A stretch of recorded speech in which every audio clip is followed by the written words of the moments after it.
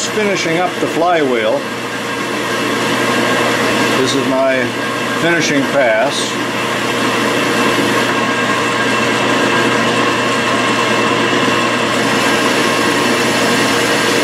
Put a bit of a chamfer on there. But I faced off the end. This is 1 and 5 8 stock. I don't know what kind of steel it is, but it sure isn't machining very well. The finish isn't much, considering this is a brand new tool. But uh, I, I took a, a, cut on the OD also to improve the uh, uh, concentricity and get rid of the, the scale and all of that. Now I will uh, center drill it, pilot drill it, and then uh, ream it 3 16ths. Then I'm going to cut it off so it's about a half inch thick However, I'm going to saw it off. I just do not like to use cut-off tools on, on larger stock like this, and especially uh, when it isn't very free machining steel. So uh, I'll do that off, uh, off camera. Then I'll put it back uh, in the lathe and face that other side that has been cut off or sawed off because the finish will be terrible on that. And then this will be done. And this, the diameter on this isn't very critical, just so it clears the base of the uh, uh, little engine. And I'll make it about a half inch thick. In this operation, I have already sawed off the flywheel to, the thickness of about half inch, and I'm facing it, chamfering it, and then it is done and ready for the set screw.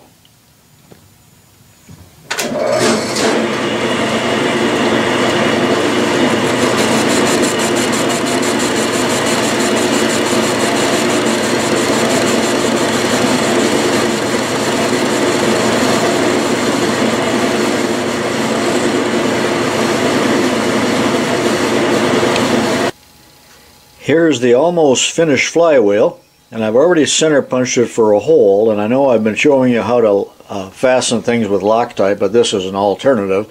Also it's a little handier to be able to get the flywheel on and off uh, when you're making adjustments. So I'm going to put a 632 uh, Allen head uh, set screw in there and here's the, here's the tap. And uh, but let me tell you just a, a couple things you ought to know uh, when you're tapping into a uh, rather uh, thick piece. Here's what I like to do on this type of hole. I'll drill all the way through with the tap drill size and then I'm going to use a clearance uh, drill, I don't know what size that'll be yet, to enlarge the holes so that in fact when I tap it, only a small portion of it will be tapped right here. You'll surely break the tap if you attempt to tap uh, full length. You only need about four or five threads at the very most, uh, so just this little area here from the pen down to the hole will actually be tapped and the rest is a clearance hole. I will not show that. I'm just telling you how to do it and I will drill that hole on the uh, drill press. The tap drill size was uh, was drilled as well as a clearance hole. Notice that the tap fits in there that, that far before I even start tapping. And that's a very essential point that I'm making there so that you don't break off a tap. Because these little uh, taps are real easy to break, very brittle, and uh, use a sharp one go about a half a turn and back it off and go all the way in until you hit the opposite side of that cross hole to overcome the uh, tapered portion of this tap. And now I'm bottoming it. I can feel it bottom. Use a delicate touch when you do this so you don't ruin the work I have temporarily mounted the flywheel on the shaft. I just snugged it up a little bit. Now later on I will um, uh, determine where the set screw hits the shaft just by uh, screwing it in there hard enough to leave a mark on the shaft and I'll put a little flat on the shaft because if you run set screws in and you deform the shaft it's very difficult to get the flywheel off so it's nice to have a flat where it will not slip. I have not uh, determined exactly where that bearing will be. So I That's the brass bearing slipping in and out of the hole and when I decide where I want to locate this in relationship to the center of the bore of the cylinder then I will Loctite that in place. But she spins freely and that's a nice heavy flywheel. Again it's about 1 and 5 eighths diameter steel and half inch thick. I allow a little extra a shaft to stick out there and that's just strictly up to your own taste. Well, I'm getting down to the end here. All of the parts that uh, are still needed are the piston, the piston rod, and this little connecting rod end here. And I'll start with that. And I'm going to make that out of brass. So this is 3 16 brass.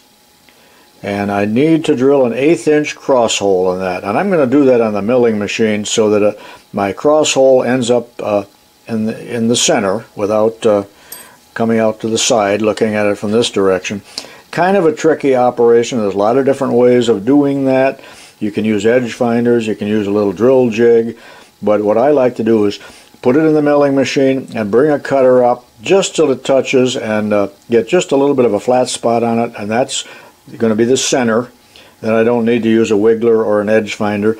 Uh, center drill it and drill it eighth inch through. So that's what I will do now. Normally you do not want to hold a milling cutter, an end mill, in a Jacob's chuck. But for this little touch-off operation it's going to be just fine. And that way the chuck is ready to go for my uh, my drills. And I like to assemble the, my cutting tools that I'm going to be using right here on the platform. And they've already been double checked for size. Now notice how I'm holding this 3 16 brass in the chuck here. Or the vise rather.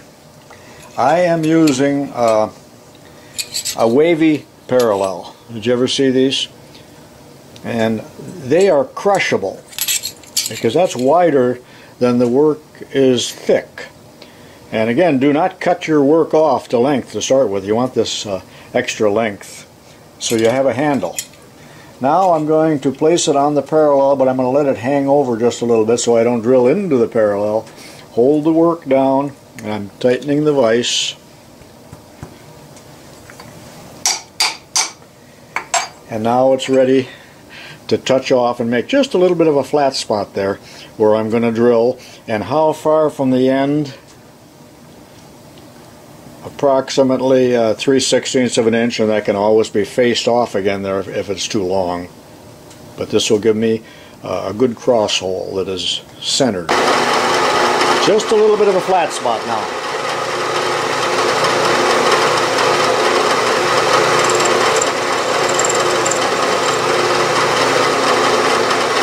There we go, possibly a little deeper even than what I wanted. And now I'm ready to put the center drill into the chuck. Now by aligning my little center drill with uh, the flat, and that tells me where the top of the work is. So I have adjusted it back and forth in the y-axis until the center drill is in the center of the tiny little flat and now I'm ready to uh, center drill it.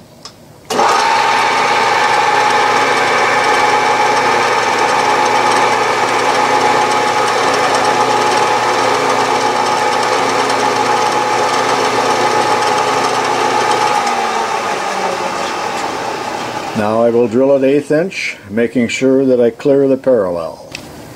This is an eighth inch drill. It doesn't need to be reamed. Uh, eighth inch drill is just fine.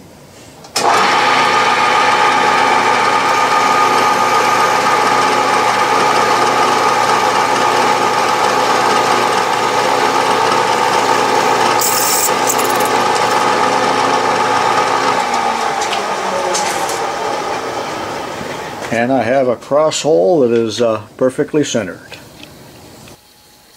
These small parts are really kind of difficult to work with but I sawed it off of the uh, the rest of the rod. And don't do that till the last minute. It's easier if you got something to hang on to. Now an alternate way of making this is to just uh, use the entire thing here as the uh, the connecting rod and uh, not reducing the size here uh, which is which is what I am doing I just think the proportion is better.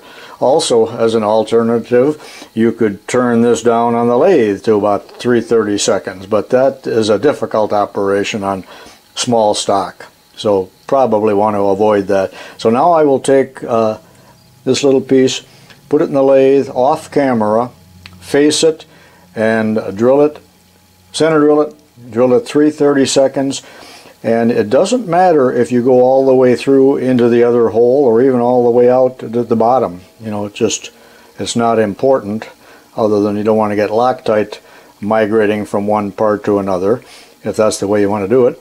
And uh, I will do that now off camera because it's a simple operation.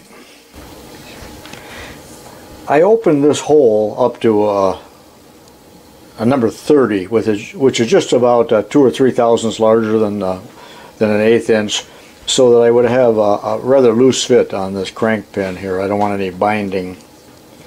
And now I'm going to apply Loctite onto that, and this is still a long rod of 330 seconds uh, brass and I will cut that off later on when I determine the position of the piston within the cylinder.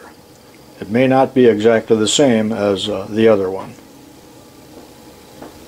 So the next job is the piston and I'm going to make it out of steel this time instead of brass.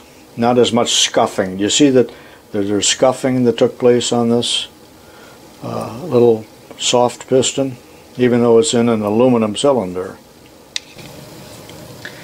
Of all the material I have in the shop, I couldn't find any half-inch stock that was, uh, wasn't a little bit under.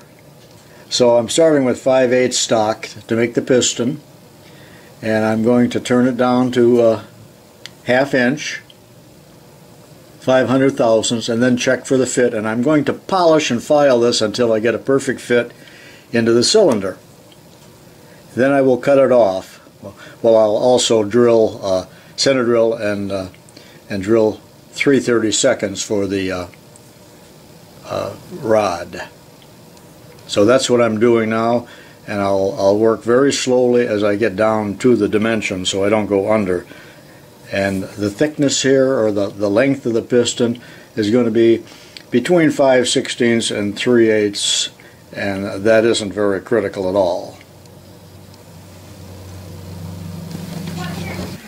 I took it down to diameter so it's uh, just a good fit and I've drilled the hole 330 seconds and uh, I polished that a little bit uh, with emery cloth and I had filed it down to dimension the last uh, thousandth or so and then uh, checked the fit with this. And it might still need a little work no that's pretty good Actually, I think it needs to be a little freer than that because I can't have any binding at all or the engine will not run. So I'll polish just about another half thousandth off. And then I'm going to cut it off with a cutting uh, cut-off tool, parting tool, and uh, face the other side, or I may not face the other side. That might be good enough.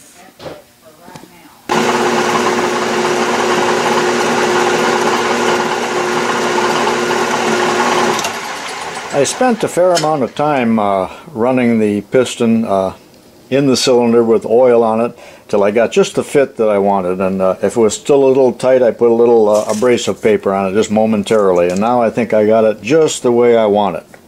And the fit should be good enough so that when you pull the piston out of there but of course here we have to cover the, the four holes but it should sound like that if you're to have a good fit.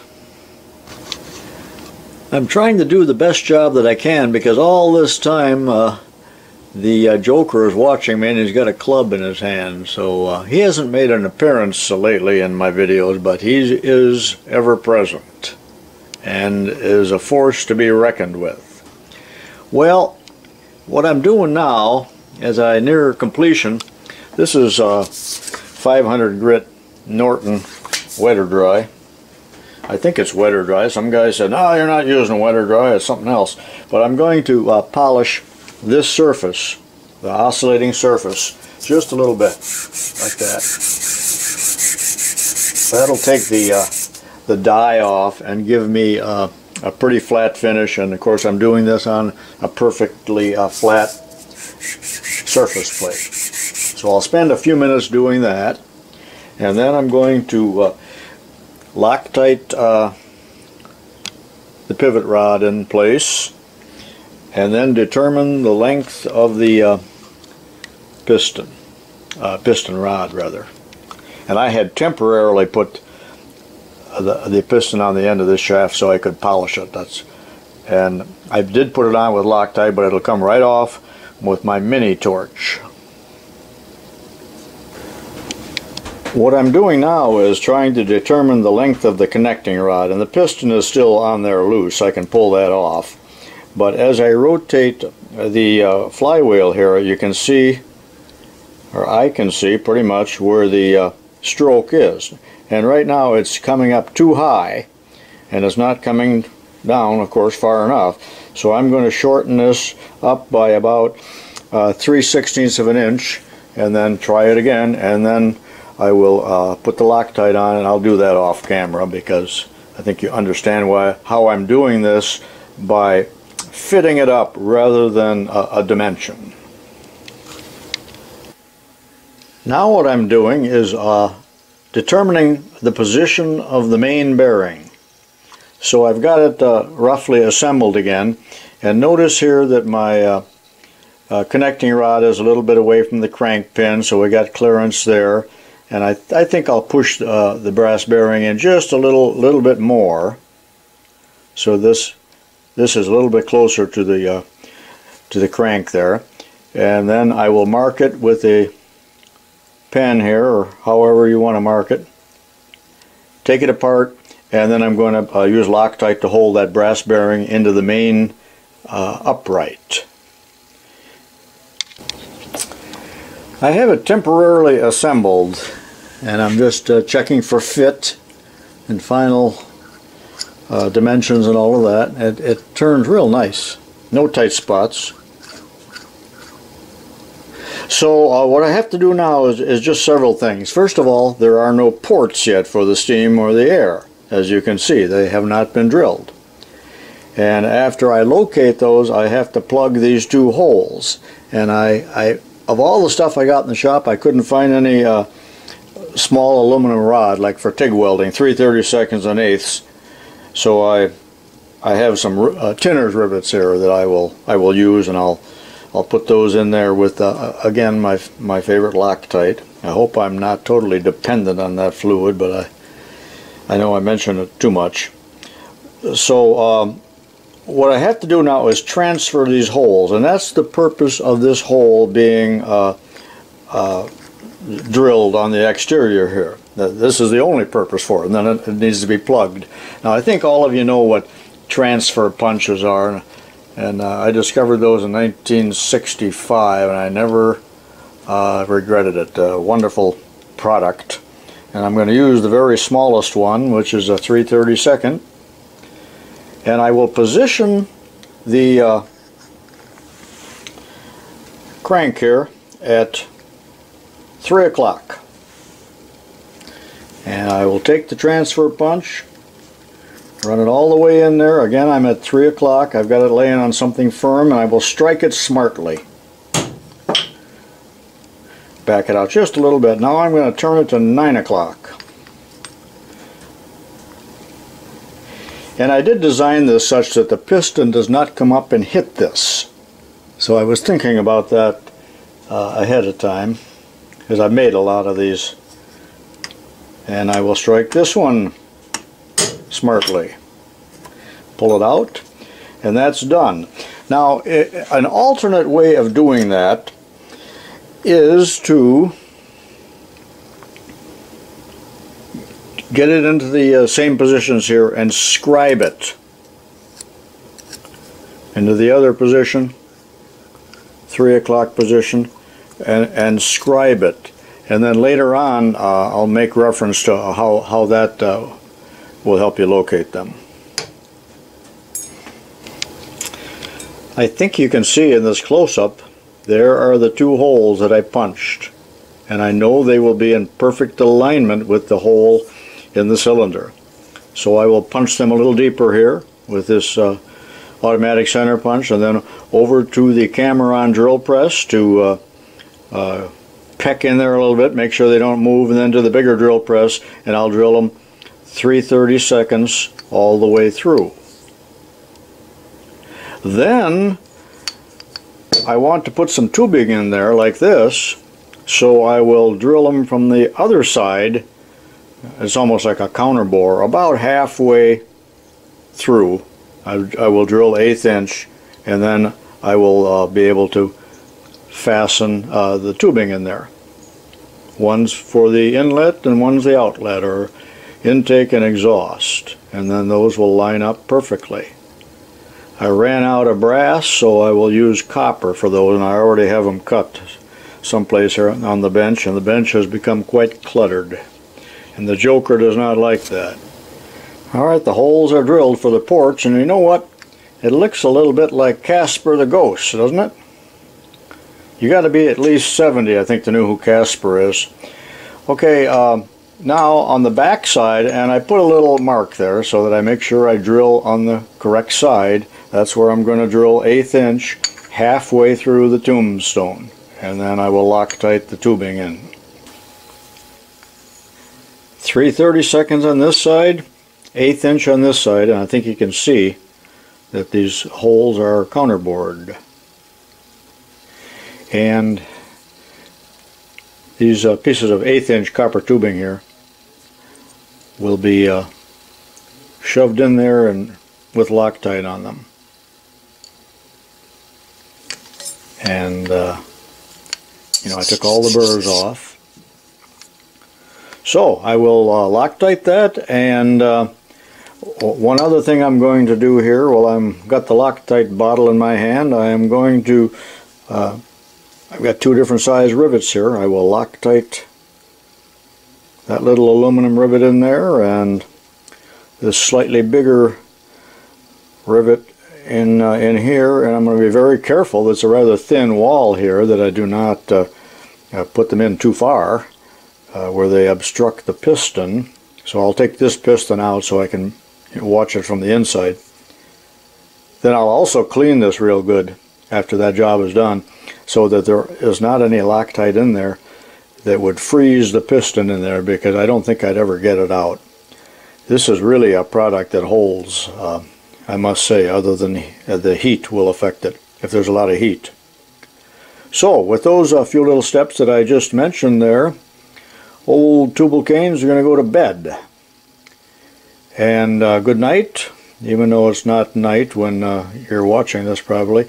And I will see you on the morrow for the conclusion of this project.